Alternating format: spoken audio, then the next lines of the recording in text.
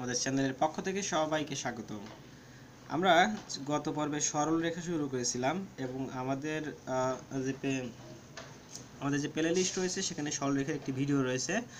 আমরা ওই ভিডিওতে চেষ্টা করেছিলাম সরল রেখার কিছু বেসিক জিনিস এবং এবং আরও কিছু বিষয় নিয়ে আমরা হচ্ছে আলোচনা করেছিলাম, যেমন আমরা কার্তিস্য থেকে কীভাবে পোলারে যেতে হয় এবং কীভাবে পোলার থেকে কার্তিস্যতে আসতে হয়, এসব বিষয় সম্পর্কে আমরা দেখেছিলাম। সো আজকে আমরা ঢাল দিয়ে শুরু করব। কারণ ওই ভিডিওর পরে আমরা ওখানে যে জিনিসগুলো নিয়ে আলোচনা করেছি, তারপরে যে জিনিসটা নিয়ে আলোচনা করা দরকার সেটা হলো ঢাল।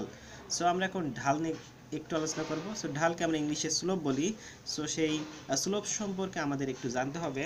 সো ঢাল আমাদের পড়তে হবে। তাহলে আমরা ঢাল দিয়ে আজকে ভিডিওটা আমি শুরু করব। সো ঢালকে আমরা ইংলিশে বলি স্লোপ। সো ঢাল বা স্লোপ। সো এটা বলতে কি বোঝায়? এটার যদি সংজ্ঞাটা আমরা বলি, ডেফিনেশনটা হলো যে কোনো সরল রেখা এক্স অক্ষের ধনাত্মক দিকের সাথে যে কোণ তৈরি করে তার ট্যানজেন্টের মানকে ঢাল বলে। অর্থাৎ আমরা যদি কার্টেশিয়ান যে কোঅর্ডিনেট সিস্টেম সেটা যদি চিন্তা করি, দেখো, এটা হলো এক্স অক্ষ, এটা হলো ওয়াই অক্ষ, তাহলে যে এক্স অক্ষ, এটা হলো ওয়াই অক্ষ, তাহলে এটা হলো কি? এটা হলো এক্স অক্ষের ধনাত্মক দিক। এখন কোনো সরলরেখা এক্স অক্ষের ধনাত্মক দিকের সাথে, তাহলে যে এই দিকে যদি আমি যাই, এই যে কোনটা এটা হলো ধনাত্মক দিক, তাহলে এই সরলরেখাটা এই এক্স অক্ষ এটা ধনাত্মক দিক এটা, হুম? এক্স অক্ষের ধনাত্মক দিক, তাহলে আমরা যদি এদিকে যাই, এটা কি ধনাত্মক? আবার এদিকে আসলে ঋণাত্মক। তাহলে এই ধনাত্মক দিকের সাথে যে কোণ তৈরি করে, তার তার যে ট্যানজেন্টের মান, ত্রিকোণমিতিক ট্যানজেন্টের মান, এটাকে আমরা ঢাল বলি। তাহলে ঢাল, তাহলে এখান দেখো ঢালকে আমরা এম দিয়ে প্রকাশ করে থাকি, ঢালকে আমরা এম দিয়ে প্রকাশ করি। দেখো, তাহলে ঢালকে আমরা কী দিয়ে প্রকাশ করি? ঢালকে আমরা এম দিয়ে প্রকাশ করি। আচ্ছা তো ঢালের যে ডেফিনেশন সেটা বলতেছে যে কোনো সরলরেখা এক্স অক্ষের ধনাত্মক দিকের সাথে যে কোণ তৈরি করে, তার ত্রিকোণমিতিক ট্যানজেন্টের মানকে ওই সরলরেখার ঢাল বলে। তাহলে দেখো, এখানে যে কোণ তৈরি করছে সেটা কিন্তু থিটা তাহলে এই থিটার যে ট্যানজেন্ট, সেটা হলো ট্যান থিটা আমরা শুধু এই কোণটার আগে, আমরা যদি ট্যান নেই, এটা হয়ে গেল ট্যানজেন্ট। তাহলে এই ট্যানজেন্টকে আমরা বলব এই সরলরেখার ঢাল। অর্থাৎ এই সরলরেখার ঢাল হলো ট্যান থিটা ওকে সো এইভাবে, এই হলো হচ্ছে একটাভাবে আমরা সরলরেখার ঢাল বের করতে পারি। তো ফার্স্টে আমি বলে নেই, আমরা কতভাবে সরলরেখার ঢাল বের করতে পারব? আমরা মোট তিনভাবে সরলরেখার ঢাল বের করতে পারি। এটা একটু তোমাদের মাথার মধ্যে ঢুকিয়ে রাখতে হবে, কারণ এটা খুবই খুবই ইম্পর্টেন্ট একটা জিনিস যে ঢাল আমরা কতভাবে বের করতে পারি। তো আমরা ঢাল টোটাল তিনভাবে বের করতে পারি। এটা আমাদের খেয়াল রাখতে হবে যে ঢাল আমরা টোটাল তিনভাবে বের করতে পারি। যদি এই তিনভাবে ঢাল বের করা তোমরা শিখতে পারো, তাহলে এই সরলরেখার যতগুলো অঙ্ক রয়েছে, এখানে ঢাল বের করা নিয়ে কোনো সমস্যা তোমাদের হবে না। এর কারণ হচ্ছে, আমরা কেন ঢাল বের করব? কারণ আমাদের এখানে অনেক ধরনের ম্যাথ রয়েছে। এই ম্যাথগুলো করতে গেলে আমাদের ঢাল বের করতে হবে। ঢাল বের করে আমাদের অঙ্কগুলো করতে হয়। সো ঢাল আমরা একভাবে বের করা শিখলাম যে কোনো সরল রেখা এক্স অক্ষের ধনাত্মক দিকের সাথে যে কোণ তৈরি করবে, সেই কোণের মান দেওয়া থাকলে তার ত্রিকোণমিতিক ট্যানজেন্ট আমরা নেব, সেটাই হলো ওই সরলরেখার ঢাল। যেমন ধরো যদি বলে যে কোনো সরলরেখা এক্স অক্ষের ধনাত্মক দিকের সাথে পঁয়তাল্লিশ ডিগ্রি কোণ তৈরি করে। হ্যাঁ পঁয়তাল্লিশ ডিগ্রি কোণ তৈরি করে। তাহলে যদি পঁয়তাল্লিশ ডিগ্রি কোণ তৈরি করে তাহলে ধরলাম এটা এক্স অক্ষ ওয়াই অক্ষ, এটা সরলরেখা, এই কোণটা পঁয়তাল্লিশ ডিগ্রি।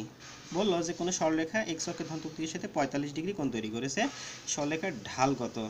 তাহলে এই সরলরেখার ঢালটা আমরা কীভাবে বের করতে পারি? তো আগে আমরা শিখলাম, তাহলে ঢাল এম ইকুয়াল টু হবে আমাদের ট্যান থিটা তাহলে tan forty five degree that means one অর্থাৎ এই সরলরেখার ঢাল হবে আমাদের ওয়ান তাহলে এই একভাবে আমরা বের করতে পারি।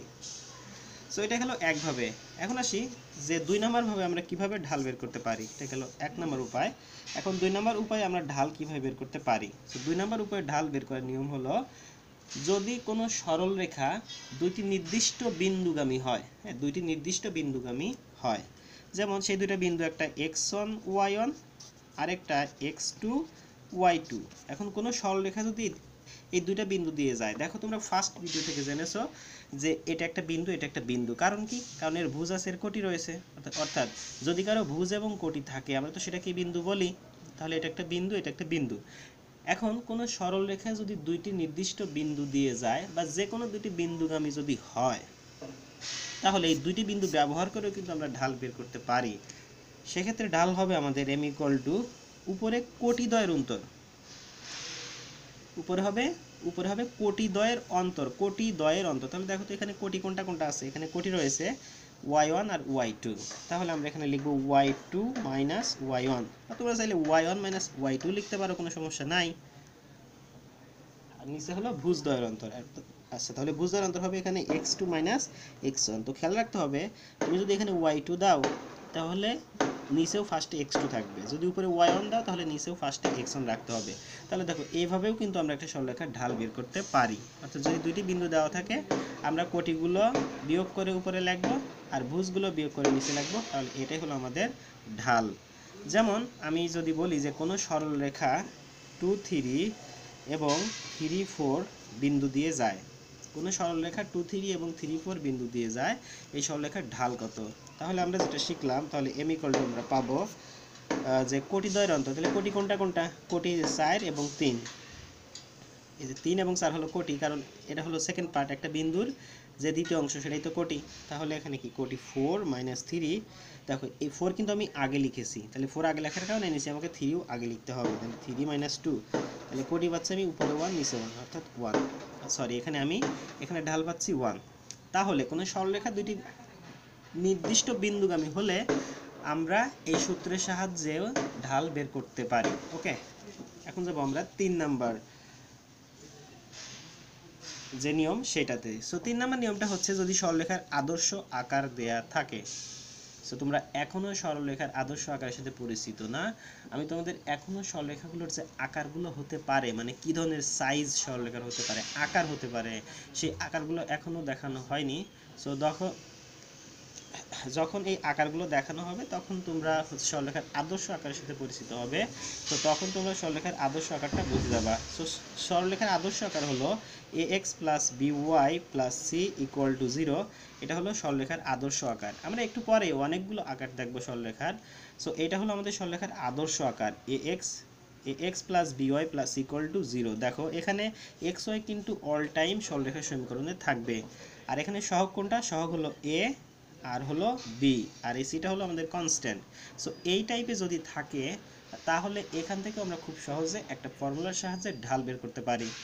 দেখো, আমাদের এখন কিন্তু উদ্দেশ্য হচ্ছে ঢাল বের করা। আমরা কীভাবে ঢাল বের করতে পারি? ফার্স্ট টাইম তোমাদের বলে নিয়েছিলাম যে আমরা তিনভাবে ঢাল বের করতে পারি। একভাবে যদি এক্স অক্ষের সাথে ধনাত্মক কোণ দেওয়া থাকে, তাহলে আর- হলে আমরা ঢাল বের করতে পারি। দুই নাম্বার, যদি সরলরেখা দুটি নির্দিষ্ট বিন্দুগামী হয়, তাহলে আমরা ঢাল বের করতে পারি।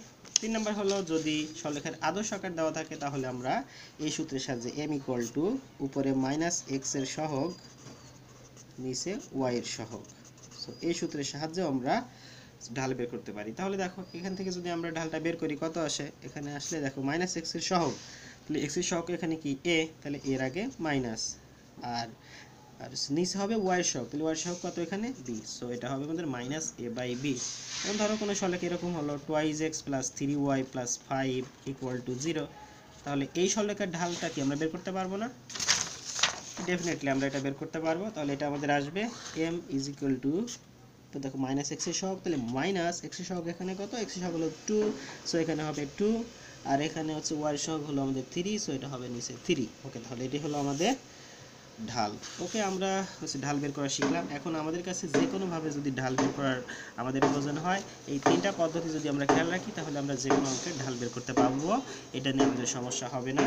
সো আমরা নেক্সট ভিডিওতে দেখব যে কীভাবে বা আমরা সরলরেখার অনেকগুলো যে সাইজ হয় বা আকার হয়, সেই আকারগুলো আমরা দেখব। সো সে পর্যন্ত সবাই একটু ওয়েট করো।